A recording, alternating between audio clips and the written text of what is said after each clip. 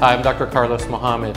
At our office, we're providing Wi-Fi for our young patients that still need to be enrolled in school throughout the day. So if you have a visit with us, bring your tablet, bring your laptop or Chromebook, connect while you're here.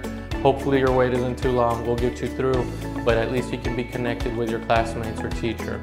Know that you can count on our Wi-Fi and we're ready to help. I'm Dr. Carlos Mohammed at Growing Smiles Children's Dental Center.